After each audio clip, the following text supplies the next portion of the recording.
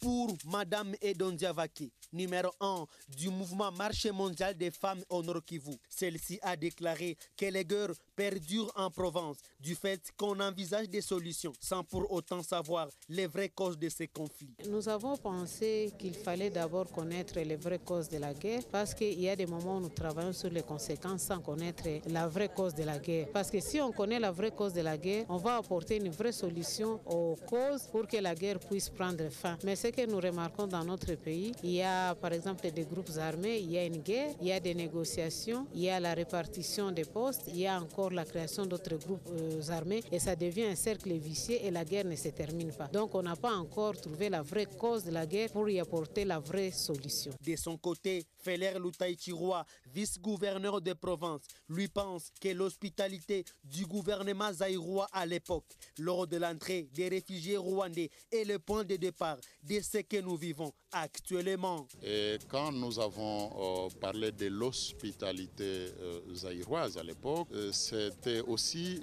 pour insinuer que ça aurait été autrement si les autorités sous-régionales de l'époque, parmi lesquelles le gouvernement zaïrois de l'époque, si il y avait eu des solutions pour faire éviter le génocide dans le pays voisin, peut-être qu'on n'en serait pas là.